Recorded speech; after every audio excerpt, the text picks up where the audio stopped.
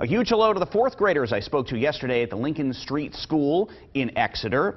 You want to take a look at some of these projects here where they say they would like to be a meteorologist. Some mention makeup, others have pictures of me involved there. Lincoln Street School, one of my favorite stops every year. A huge thank you for the invite.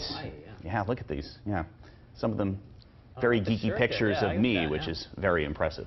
Look at that one. I like that. Isn't that great? Oh, that, that's us there. Okay, great. That's yeah. me. So a huge thank you to them. I have a great time going back there every year. Not only a T-shirt, but dun, dun, dun, dun. Oh, what do you Some got there? chocolate, Chocolate. too. yes, some local chocolate from Exeter. So You're not going to be able to eat all that Yeah. yourself, I know. Well, we, this is Need the deal we work here. out here at the anchor desk, right? Uh, you know, one for me, three, four, five for you. Is that how that works? Is that the typical tell ratio? That is the secret. Uh,